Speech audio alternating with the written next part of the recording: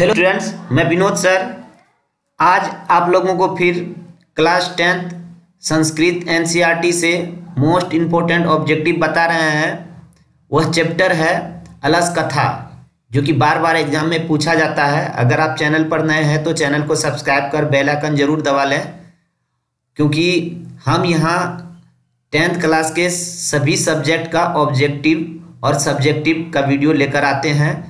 आप लोगों को पता है कि 60 परसेंट ऑब्जेक्टिव पूछा जाता है मतलब 100 में 60 नंबर का ऑब्जेक्टिव इसलिए आप इसका तैयारी बढ़िया से करें, ताकि आप एग्ज़ाम में सही सही उत्तर दे पाए। तो आज का जो पहला प्रश्न है कि अलस कथा पाठ कुत संकलित।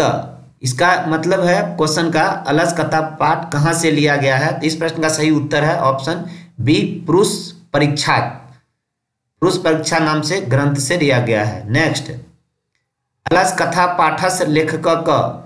यहाँ कह रहा है कि अलस कथा पाठ के लेखक कौन है? तो इस प्रश्न का सही उत्तर है ऑप्शन बी, विद्यापति। नेक्स्ट मिथिलायाम मंत्री क। मतलब प्रश्न कह रहा है कि मिथिला के मंत्री कौन थे? इस प्रश्न का सही उत्तर है option C, Vireshwar. Next Maithili कवि क आसित। मतलब मैथिल कवि कौन थे? तो इस प्रश्न का सही उत्तर है ऑप्शन सी, विद्यापति। नेक्स्ट कारुणिक बिना केसाम गति नास्ती। यहाँ जो प्रश्न कर रहा है कि दयालुओं के बिना किसकी गति इस लोक में नहीं है? तो इस प्रश्न का सही उत्तर है ऑप्शन सी अलसाना मतलब आलसियों की। नेक्स्ट विद्यापति लोकप्रिय डैश कवि आशित रिक्त स्थान में पूर्ति करे यहाँ रिक्त स्थान में होगा मैथिली कवि। विद्यापति लोकप्रिय मैथिली कवि आसित नेक्स्ट नीतिकारा आलस डैश मनते रिक्त स्थानों की पूर्ति करे। तो यहाँ रिक्त स्थान में होगा ऑप्शन ए रिपु। यहाँ जो कह रहा है इसका मतलब है नीतिकार नीतिकारों ने आलस को शत्रुवत माना है। नेक्स्ट आसित मिथिलायाम डैश नाम मंत्री। यहाँ प्रश्न कर रहा है कि मिथिला के मन, में वीरेश्वर नाम का मंत्री था तो यहाँ रिक्त स्थान में जो भरा जाएगा ऑप्शन सी वीरेश्वर। हो नेक्स्ट तत्रेव कति पुरुषा सुप्ता। यहाँ क्वेश्चन कर रहा है, वहाँ कितने पुरुष बच गए थे? मतलब आग लगने के बाद घर में तो चतवारा ऑप्शन ए सही है। नेक्स्ट यम कथा कस्मात ग्रंथात उद्धृता अस्ति। मतलब यह कहानी किस ग्रंथ से लिया गया है? मतलब अलस कथा। तो इस प्रश्न का सही उत्तर है ऑप्शन बी पुरुष परीक्षात। नेक्स्ट अस्याम कथायाम कस महत्तम महत्वम वर्ण, वर्णितम अस्ति?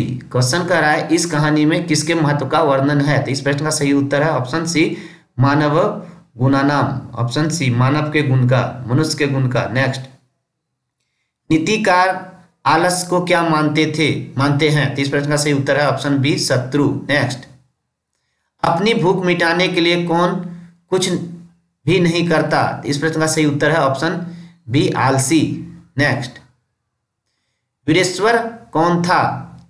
तो इस प्रश्न का सही उत्तर है ऑप्शन बी, मिथिला के मंत्री। नेक्स्ट अलस कथा में आग क्यों लगाई गई? तो इस प्रश्न का सही उत्तर है ऑप्शन बी, आलसियों की परीक्षा करने के लिए।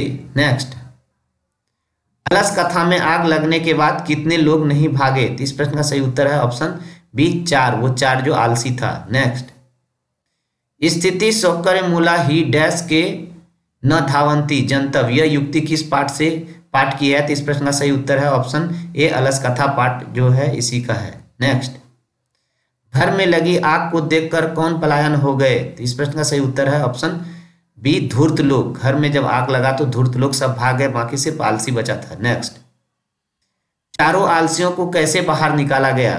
तो चारों आलसियों को केस पकड़कर बाहर निकाला था ऑप्शन सी।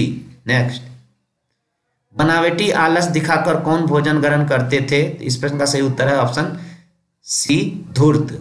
नेक्स्ट वीरेश्वरस वीरेश्वरस स्वभाव की दृश्य आसित। क्वेश्चन है मंत्री विशेश्वर, वीरेश्वर का स्वभाव कैसा था? तो इस प्रश्न का सही उत्तर है ऑप्शन बी और सी मतलब कि दानशील और कारुणिक, दयालु। नेक्स्ट ततो गिरिनग्नम गिरिलग्नम प्रवृद्ध द्रम अग्नि दृष्टवा डैश सर्वे पलायता। यहाँ क्वेश्चन करा घर में आग लगने के बाद सभी धूर्त भाग गए तो यहाँ ऑप्शन इसका ए सही है धूर्ता तो स्टूडेंट्स आज के लिए बस इतना ही। नेक्स्ट पार्ट का वीडियो देखने के लिए इंड स्क्रीन पर टच करें या प्लेलिस्ट को क्लिक करके पढ़ें। अगर आपको यह वीडियो अच्छा लगे तो लाइक और शेयर ज़रूर करें।